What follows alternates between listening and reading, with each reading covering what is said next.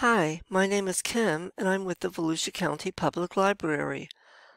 Ancestry Library Edition is one of the best resources when it comes to genealogy. This database can be accessed on the library computers at any branch or from your own device as long as you're in one of the branches. I'll show you how to start researching your ancestors. Start with our homepage, volusialibrary.org. From there, hover over Digital Library with the mouse. Then go down to Research Databases and click on Databases A to Z. Our databases are arranged alphabetically, so you should see the link right away.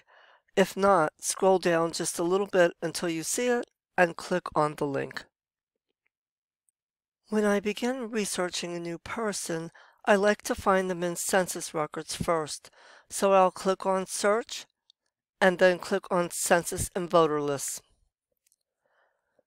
For this search, I'll try to find my grandmother, Estelle Miller. I can search all years or narrow it down to a specific census year. She married in 1929, and I know where she was in 1930 and 1940. I'll see if I can find her in 1920.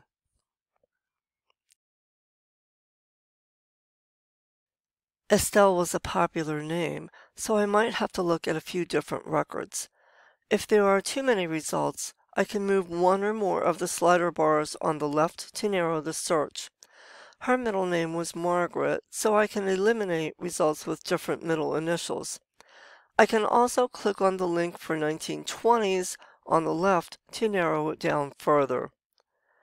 When I find what I want, I'll click on the link.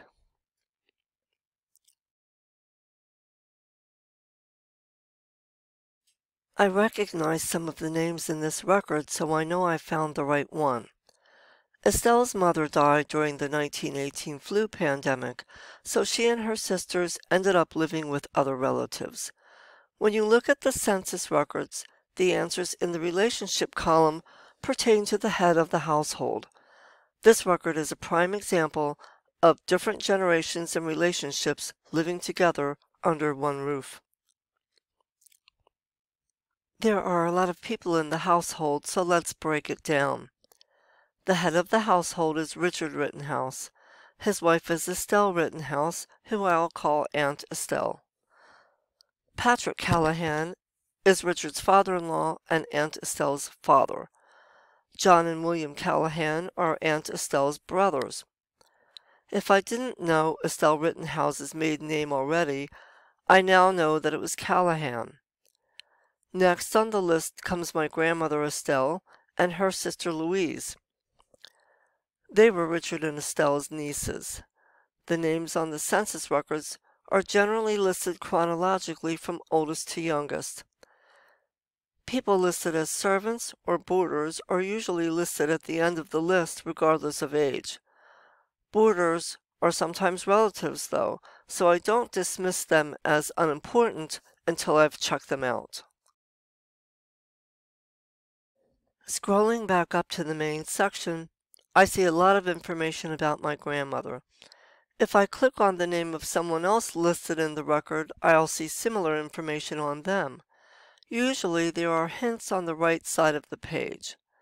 For some reason there are none here for Estelle, but if I click on Richard's name, there are plenty. The hints may or may not pertain to the person I'm researching. They are only hints. It pays to check these records out, but I can't assume it's the right person.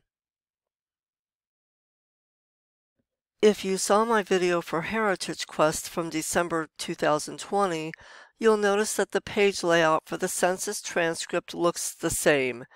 Ancestry owns Heritage Quest, so there are some similarities. As with Heritage Quest, I can click on the link to email the record to myself or someone else. I'll enter the same email in both boxes and click on Send Document. There's also a printer-friendly view. If I click on Print, the page will reformat and I can print it.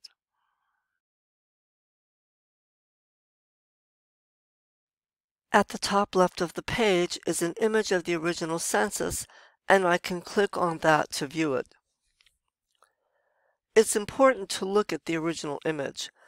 There is often more information listed than on the printed transcript. Also, I can see who lived nearby. Relatives sometimes lived on the same or nearby street. Sometimes I'll notice a typo on the transcript by looking at the original.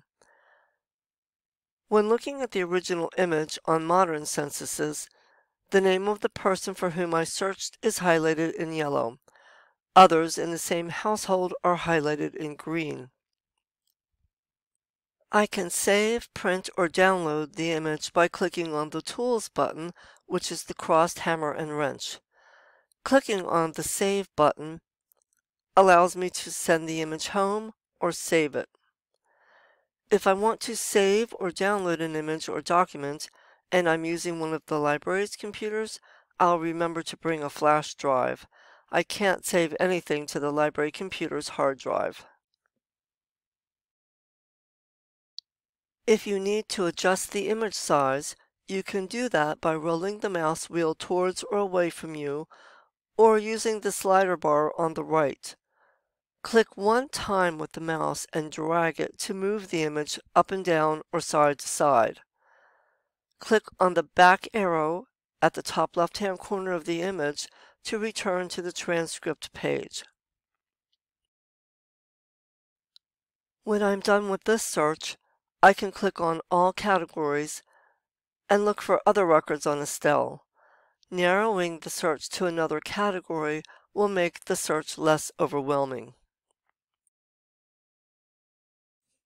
Census records are just the tip of the iceberg in Ancestry Library Edition. There are many different collections, including military, immigration, and more. If I don't see what I want the first time, it usually means I just have to dig a little bit deeper. Thanks for watching. Don't forget to visit us online at volusialibrary.org and like us on Facebook.